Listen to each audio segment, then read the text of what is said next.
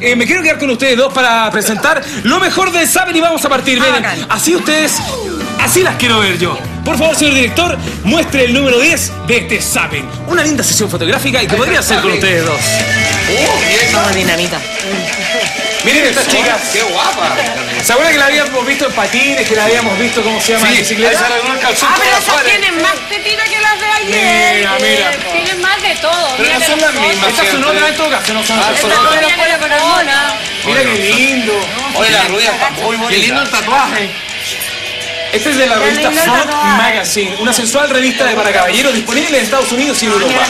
Es un grupo de Y cinco son amigas paraditas. que posan para esta sesión fotográfica. Pero que que son las pechugas bonitas, son como así, ¿cachai? Eso es simpatía y sensualidad. En el foto se queda, ¿no? No, las tallas. Mira, Ah, sí. Se trata del, eh, de registro de video de la sesión.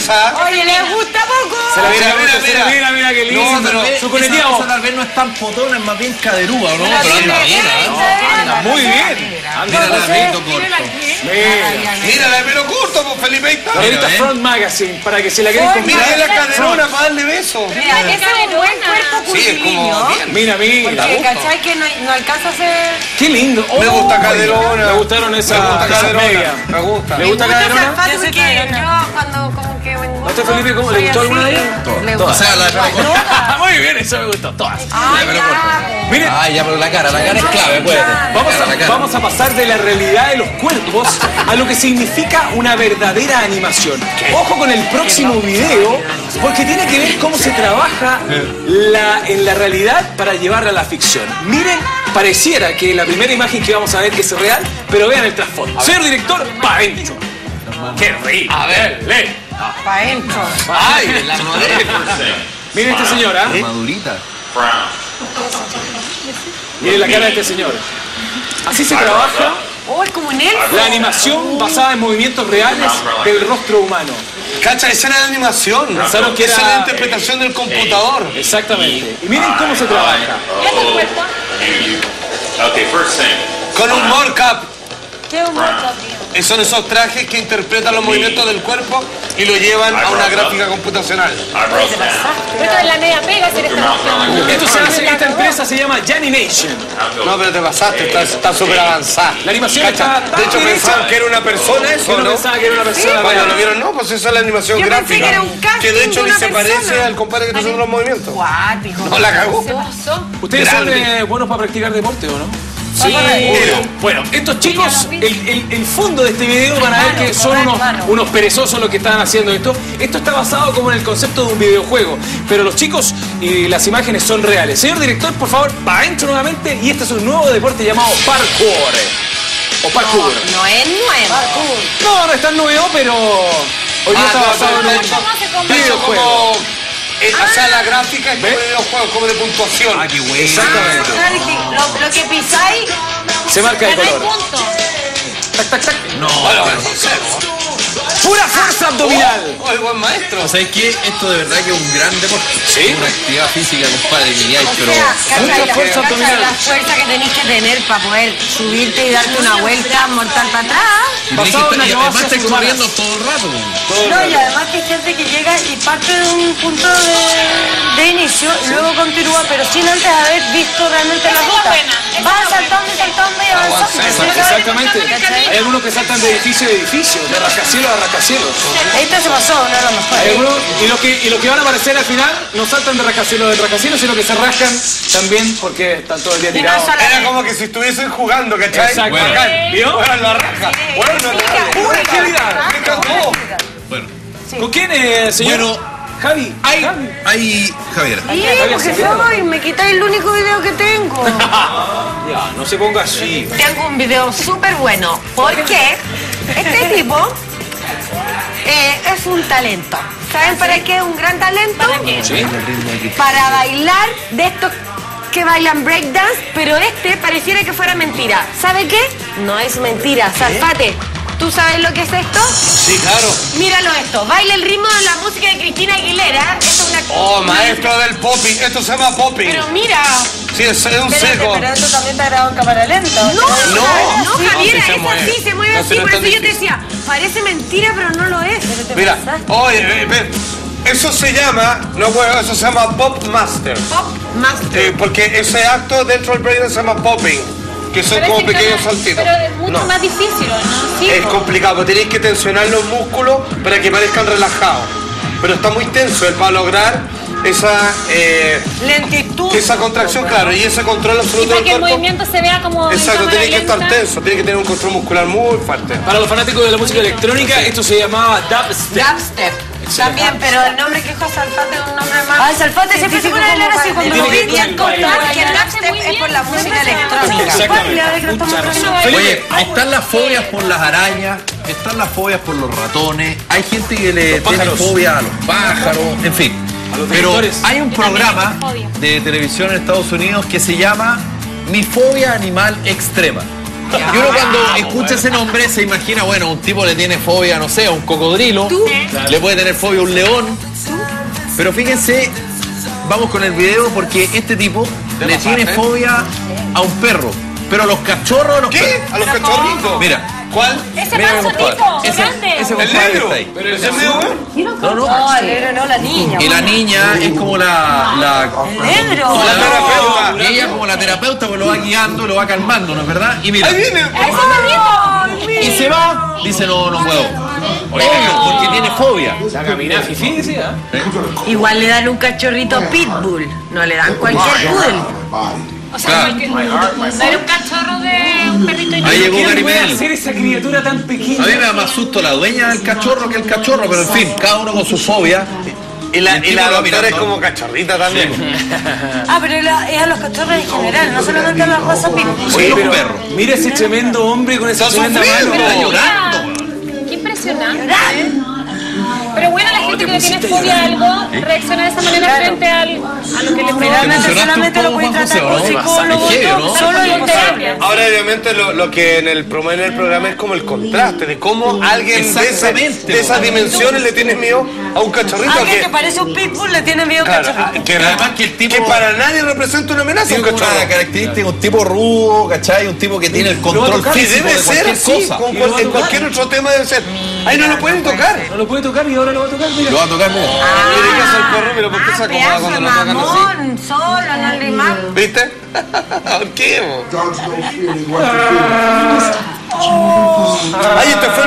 paso, no está sanado. Bien, ¿ah? Lo logró tocar. Bueno, te pasaste. Oye, está muy bueno, me Para que vean cómo es la mente, cómo te engaña, amigo mío. Es candidato a lo mejor del sabio. Lo postulamos para el mejor desastre. pero el mío también está bueno porque el lugar número 5 El suyo es el mejor. es una pelea.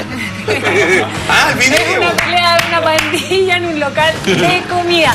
Y la verdad que se dan el chancho. ¿De Esta vez, pandilla? esta vez no son mujeres y ¡Oh! hombres. Pero weón, le Pero mete- mira, cagó el local. Todos con todo.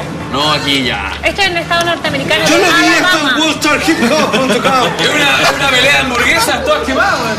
Tú sabes que en Estados Unidos se da mucho esto de la pelea por el territorio, Sí. por los barrios. Entonces, aquí no sabemos cuál es el motivo de la pelea. Lo que sabemos es que quedó la embarrada. ¿Qué es la pelea más feroces? muy violenta. No, pero tremenda. Pero es que se pegan todos con todo. Estaba la raza negra. lo agarra codazo, a codazo, po, weón. No, y se- hay algunos que lo agarran y lo tiran. Es impresionante. Ay, yo pensé que estaban uniformados y se pegan con la misma ropa. Esto, esto es, todo es cancha. ¿Qué más nos podrías contar del video, Maca?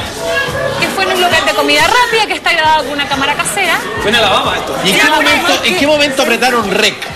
Grabar. pensaron que estaba quedando la escoba. Yo ya sé cuándo pasan estas peleas. Es saliendo del carrete con el bajón de la hamburguesa. Entonces ellos se van y ahí pasa que les dan mal la hamburguesa. O un empujoncito o uno en la se pone a con el otro. Que alguien se cuela. Bueno, sí. Muy bueno. Precisamente no cantaron Sexo Alabama.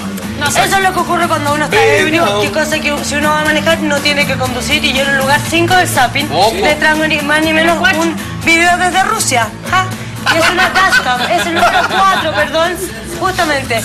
Un hombre que condujo en estado de ebriedad y es obvio lo que puede pasar. Y allá son curagüillas, como acá. Mira, Bueno, para el tipo. Toma, Fíjense, fíjense. Va muy, voy atento a- hacia adelante. Ahora, ahora. Le pegó en una esquina con todo. ¡De nuevo! ¿De nuevo? De nuevo. Le pegó, le pegó empinado esa Lo que pasa Se es que acá se sentido, pero combinan dos rico, factores weón. de riesgo, ¿no? Uno que es la lluvia, donde uno siempre tiene que Pero igual manejar. Juan venía hecho una goma. Mira, hizo venía Y luego engomado. además viene con... Quiso doblar. Es como que Oye, no se salvó. No, claro, no quiso hablar y no. Se comió la curva. Oye, espérate, el weón que iba manejando que no ha puesto el copiloto, pero como ni te explico, weón, se va al otro lado. ¿Te parece impactante? Sí. ¿Pero hay más? ¿Va para el primer lugar de Zapping? Podría. No han visto nada, porque el que viene ahora sí que va para el primer lugar de Zapping. Este es el tercer lugar. También viene de Rusia, también captado por una dashcam. Fíjense en el lugar izquierdo de la cam, de la, del monitor. Ahí. A la- a mano izquierda. Ya, ¿dónde pasó el Este auto camión? queda- sí, donde pasó el camión, en la, pista, en ruta, por acá, miren, miren, miren. ¡Oh! Un choque de proporciones. No se sabe bien las razones de por qué perdió el control del vehículo. Era mejor el otro. No, se este ve fue que un estaba choque, pero el múltiple. Pero no se ve nada. Múltiple choque. Se, ve que ve. el pavimento. Sí se ve. El primero era mejor. Que Salpate me va a chaquetear porque por ir No a chaqueteando. La pregunta es eh, que pregunta es, ¿para qué el huevón que iba con la cámara se salió de la ruta? Debería ¿Por qué no siguió el otro se que se grave grave el choque? Le dijeron, le dijeron. Que. La señalética en el tráfico, en el tráfico es bastante importante, porque si no hay un disco bien puesto, si no hay un señal paso, si no hay un semáforo, pasa? pueden ocurrir choques en una intersección de perogrullos que pasó eso en el siguiente video. Este camión sí. Ah, este se ve Lo que pasa es que acá se ve todo, ¿no? Oye, el camión feo. Fue el año No hay 2016, señalética. Es un lava eso. Atentos, atentos aquí. Lo Miren. ¡De nuevo! Por una falta de señalética, porque en realidad no se sabe quién tiene que pasar. ¿Ustedes quién cree que tiene la culpa Es que está raro ahí igual. No, Está rarísimo, porque viene un camión desde la izquierda. Parece un tilchif. Espérate, va a avanzar, Ese ¿no es es la- El auto, el lado de la... No, mira, mira, y ahí no pesca el camión. No, no Mira, podéis calcular así. Quizás el auto al doblar el Es lado que ahí no hay nada. Como no hay señal, no weón, todo es cancha. Pero no había hacia el paso, no No, había en ese no había 2026 nadie. cruza el camión y el camión le da la dirección al auto que viene atrás. Salfa, Claro, el totalmente. 2026. Son choques de automóviles de los que siempre Weón, weón, y de- en la fecha de Mira en el 2026. futuro tu video. Weón, confiesa. Usted los de derecho tienen la máquina del tiempo. En el 2026. Número uno, número uno, número uno, número uno. Se viene el número uno. Número uno, no por nada, señores y Solo señores. uno. Solo uno. Pero el primero se llama Tabula Rasa, un cortometraje precioso que habla acerca de, ¿cómo decirlo? Del vacío que hablaba la película Apocalipto, del cual detentamos todos los seres humanos. Ese problema, esa ansiedad que tratamos de rellenar y que está basado en la historia de un robot que mezcla modernidad con memorabilia. Por favor, señor director. meta. Lindo. Obviamente un triunfo de la animación sobre este robot que trata de encontrar parte de su identidad, alguna especie de asidero en este paisaje desértico, esta creación máxima de la tecnología, no logra emparentarse con nada que esté cercano a lo suyo. Quizás un único recuerdo esta pequeña planta que en algún momento dio alimento a aquellos que lo crearon. Siendo así todo un robot, se demuestra un grado de humanización en el, de sensibilidad en, en su movimiento. Tienes toda la razón. ¿Terminaremos Mira, conversando con este tipo de máquinas? Eh, yo creo que ya se puede con, con el- la modificación del teléfono de iPhone, uno puede hablar con el teléfono. Yo conozco a gente que es menos sensible que un robot, Mira, así que no me llamen ni Por supuesto, mira, ¿qué es lo que hace? Él descubre que a veces uno puede llegar a vivir en las demás, en las cosas que salva, como en este caso, en este robot, y este último sustrato de planta, que como les decía en algún momento, fue lo que le dio vida, sombra, abrigo y por supuesto también alimento a quienes lo crearon. Por cierto, este robot no surgirá más, pero su esfuerzo y su legado seguirán existiendo de una u otra forma en las raíces de ese árbol que logró prosperar y prevalecer gracias a los cuidados de él. Y en cada nervadura, en cada pedacito de hoja, hay otro robot por nacer, porque otra vida de otro ser humano hará ese árbol. Finalmente la cadena continúa gracias al último salvataje. Primer lugar, ¡Un aplauso, Salfate! ¡Excelente!